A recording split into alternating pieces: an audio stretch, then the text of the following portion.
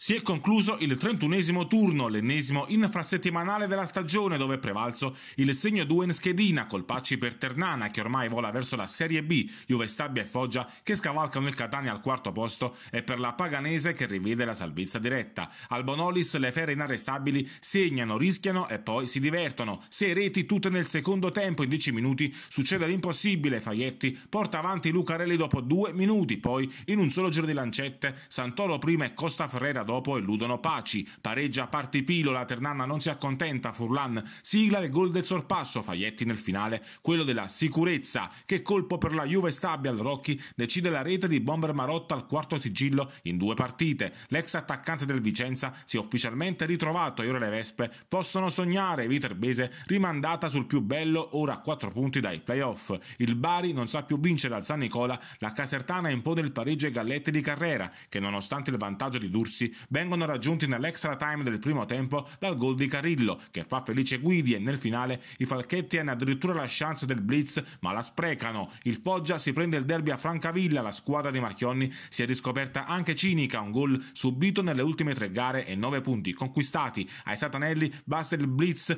messo a segno da Gavazzi all'84 minuto, salta dopo il KO la panchina di Trocini. Ai titoli di coda anche quella di Raffaele a Catania dopo il KO in casa della Turris di Caneo, che trova la sua seconda vittoria. Secondo i rumors, dovrebbe accasarsi in panchina all'ombra del Massimino Francesco Baldini. I corallini, grazie al gol di Longo, si tirano fuori dalla zona rossa e stendono gli etnei scivolati ora al settimo posto. Alla Paganese lo scontro salvezza del Ventura. Il gol di Squillace porta in campania tre punti d'oro all'Elo di Napoli. Azzurro Stellati ora ad un solo punto dal duo Vibonese Potenza. Il Bisciri Papagni, dopo il colpo di Caserta, si perde sul più bello.